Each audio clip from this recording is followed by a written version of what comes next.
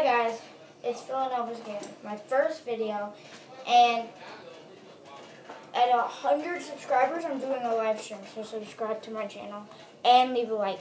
So I am doing my Fortnite locker, well Fortnite account skins or whatever you want to call it. I don't actually give a freak.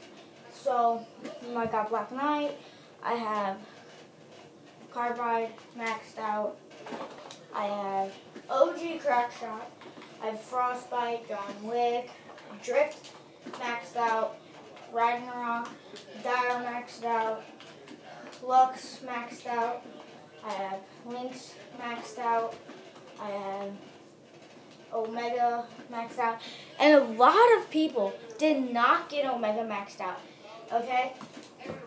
And then I have Ragnarok maxed out uh, Visitor, Singularity, Ice King.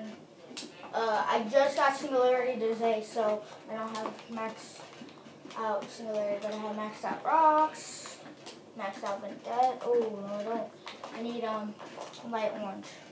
And I have Blitz, and I have these skins, whatever. I did not. I did not do the.